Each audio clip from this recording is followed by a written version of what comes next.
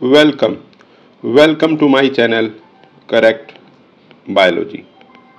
My name is dr vikash bhardwaj in this video i am going to teach you what enzymes what enzymes can do and what enzymes can't do. So here we are going to discuss very very important point related to enzymes Remember, enzymes, they are known as biocatalyst and what they do, they enhance the rate of reaction. All the metabolic reactions which are occurring within the living system, it is occurring due to the presence of enzymes. Enzymes are the working horse within the cell. Now here I just want to tell you, keep in mind enzymes you must be knowing they carry out the conversion of substrate into product. But also keep in mind the enzymes they also convert product into substrate. So here remember enzymes they actually carry out interconversion. Enzymes they carry out interconversion of substrate into product.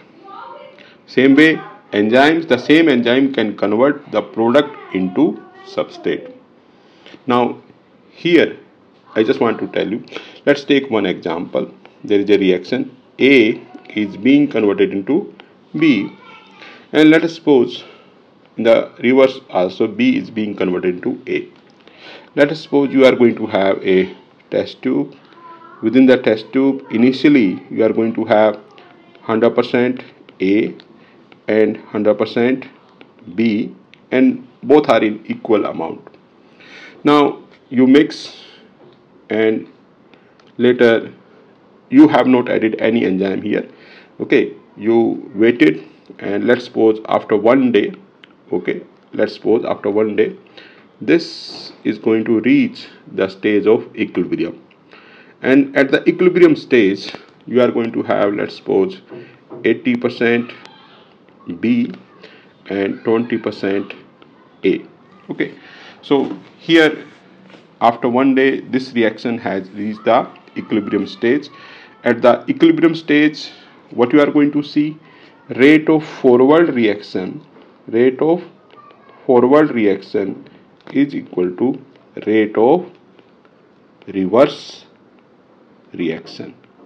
So at the stage of chemical equilibrium, at the stage of chemical equilibrium, what you are going to have rate of forward reaction equal to rate of reverse reaction. For different different reaction, we are going to have different different equilibrium point. And let's suppose this reaction has reached equilibrium point after one day. Now here I just want to tell you if you are going to carry out this reaction in the presence of enzymes okay there is a lot of chance that this reaction can be carried out in just one minute okay? So initially you were having 100% a 100% b you added one enzyme okay? Now the reaction will reach okay the same point 80% b 20% a okay within one minute now here what you have observed that enzymes enzymes they enhance the they enhance the rate of reaction. They enhance the rate of reaction. So here they will increase the conversion of substrate into product. They will increase the conversion of product into substrate in presence of enzymes in presence of enzymes what is going to happen? Any reaction will reach equilibrium point equilibrium point in lesser time in lesser time okay? But hopefully you have observed enzymes they do not change.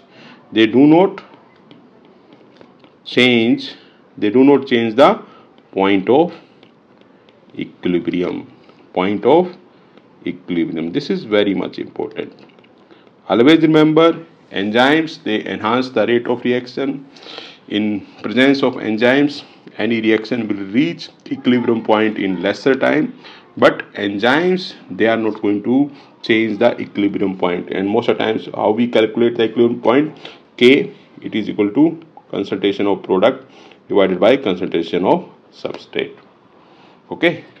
So here keep in mind enzymes okay they are actually the biocatalyst. And what they do they enhance the rate of reaction okay of both forward reaction as well as for the backward reaction. Generally enzymes they enhance the reaction by 10 to power 6 to 10 to power 17 times. Yes keep in mind enzymes generally they do work at mild reactions condition. In cell generally you are going to see most of times pH is equal to 7 and you are going to have cellular temperature that is 37 degrees Celsius. So most of the enzymes they work in mild reaction condition but yes there are cases that for example enzymes which are present in stomach they can work at acidic pH.